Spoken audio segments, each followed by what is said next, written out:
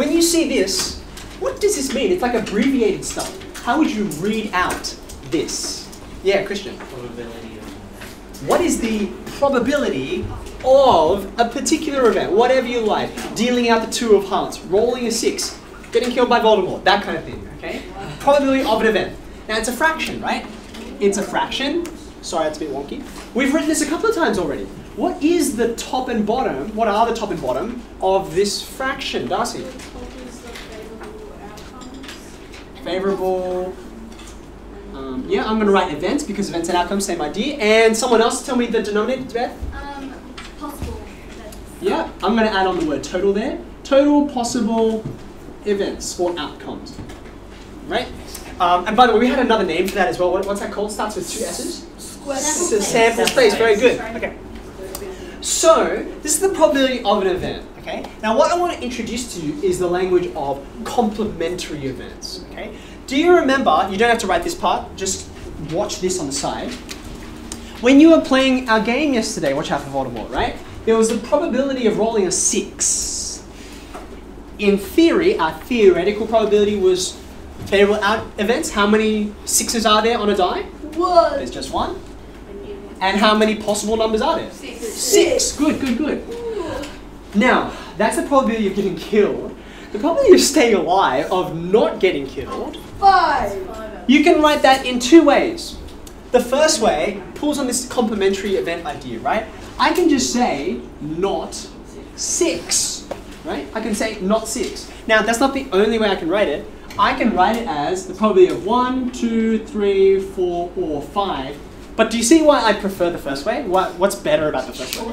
It's just quicker. It's just quicker. You guys know mathematicians, famously lazy, will always take the quickest path we can. Okay? Now look at this for a second.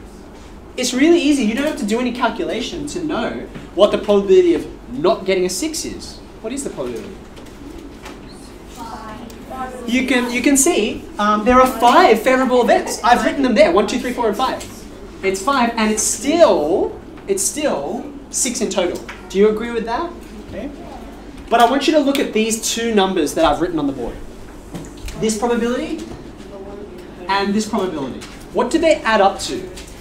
What do they add up to, Christian? one. They add up to one, which means these are all the possible things. Okay? So underneath what you've written in here, right? The probability of a complementary event, right? This is like the opposite of your event happening, right? If you were thinking about sixes, the complementary event is not a six. If you're thinking about odd numbers, what's the complementary event to odd numbers? On a die, you're Not either two, odd numbers six. or you're even numbers, right? So odds is one event, evens is the complementary event, right? Can you see the probability is just one take away the probability of the actual event you're interested in? Do you see that? Right?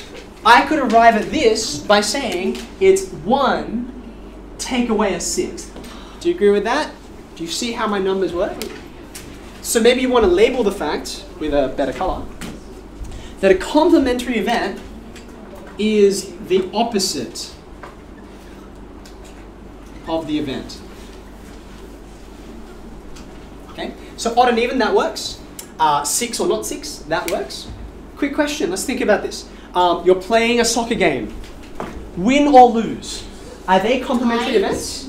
Yes. No. They are not complementary events because there's another option, tying, right? So it's win or not win. Those would be complementary. What about um? What about sunny or rainy? Are those complementary? No. No, because you could have like snow, overcast uh, or snowy, all kinds of things. Cloudy with a chance of meatballs. Yeah, you could have cloudy with a chance of meatballs or cloudy with a chance of meatballs too. Um, you can see.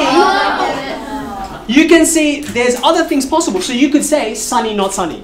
Th- th- They would be complementary. Or raining, not raining. They would be complementary. And you can use this, rather than like count them all up, you can just subtract.